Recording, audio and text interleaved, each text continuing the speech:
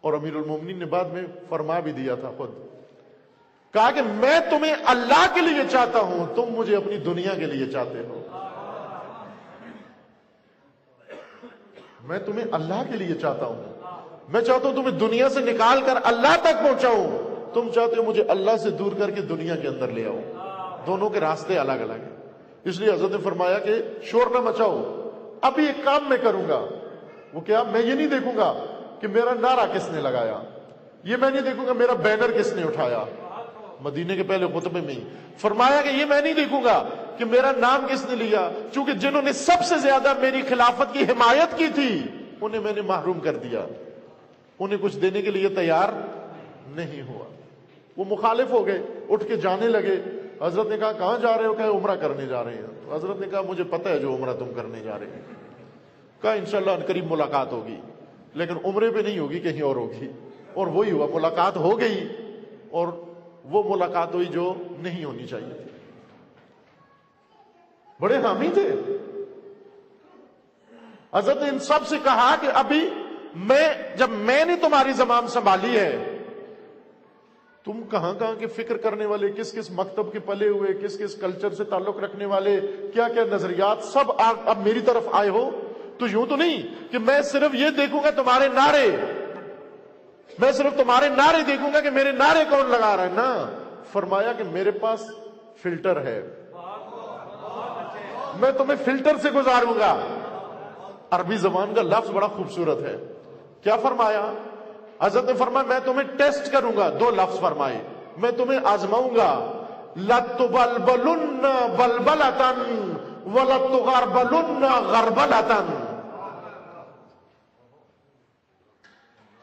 لت بل بل اب تم آزمائے جاؤ گے سارے۔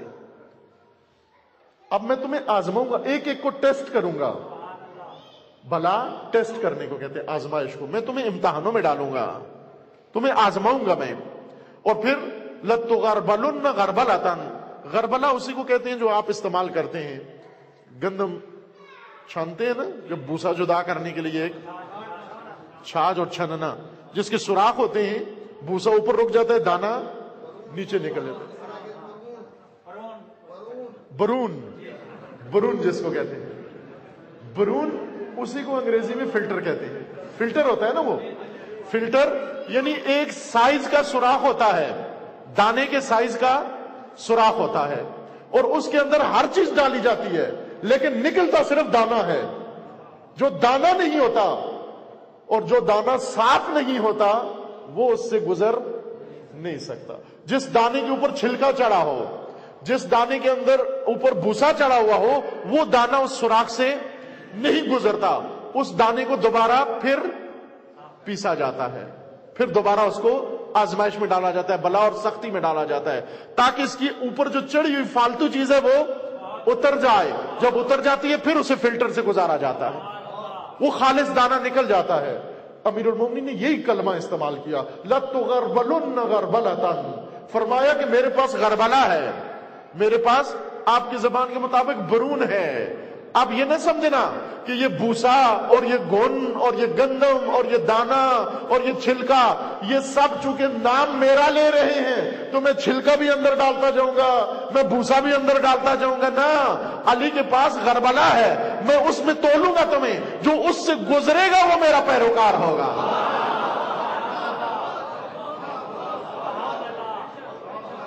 جو اس سے گزرے گا وہ میرا پیروکار ہوگا۔ لتو غربل غربل اور جب علی علیہ السلام نے ڈالا، کچھ اس میں سے گزر گئے، کچھ نہیں گزر سکے۔ کچھ نہیں گزر سکے۔ اس غربلا علی سے گزرنا ضروری ہے۔ علی کے فلٹر سے گزرنا بہت ضروری ہے۔ لیکن خیال رکھنا، دوسرے بعض اوقات چھلکے سمیت گزار دیتے ہیں۔ ان کا غربلا انہوں نے سوراخ بڑے کیے ہوئے ہیں۔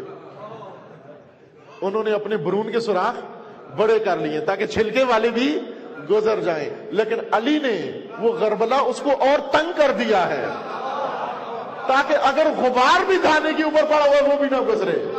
بالکل صاف و شفاف گزرے۔ علی کے غربلا سے گزرنا بہت مشکل ہے، عزیزان۔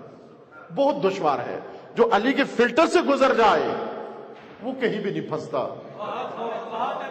وہ نہ برزخ میں پھنستا ہے، نہ قیامت میں پھنستا ہے، نہ حشر میں پھنستا ہے۔